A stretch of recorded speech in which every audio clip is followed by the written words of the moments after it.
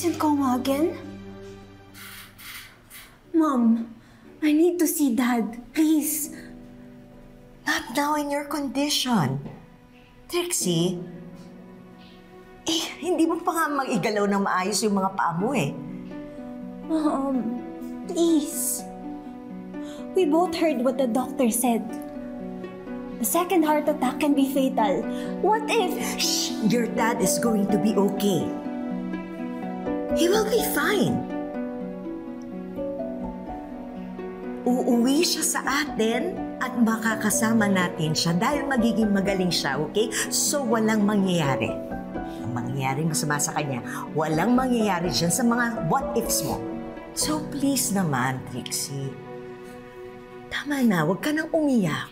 From now on, there will be no more room for tears in this family. Hindi na tayo iiyak. Wala nang iiyak. Hindi tayo pwedeng maging mahina. Trixie, naiintindihan mo ba ako? Mom, I said what I said, Trix.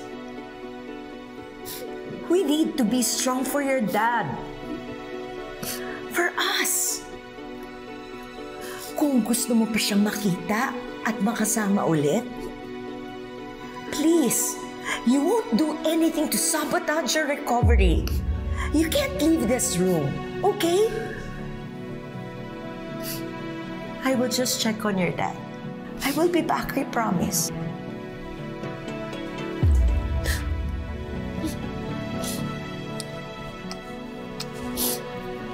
please give this to Dad. I'm sorry, hindi na ako uiyak ulit, Mom.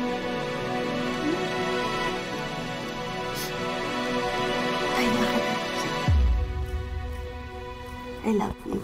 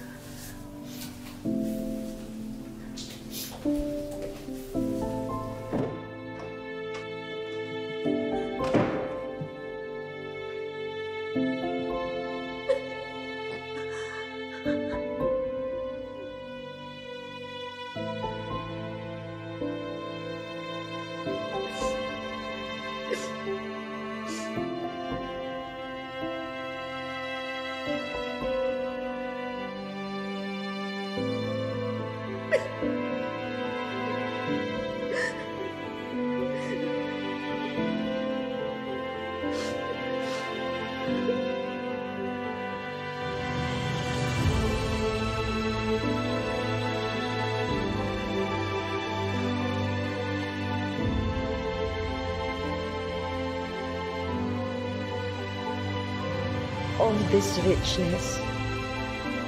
But I cannot afford my family's peace of mind. Ano pa ba ang problema na darating?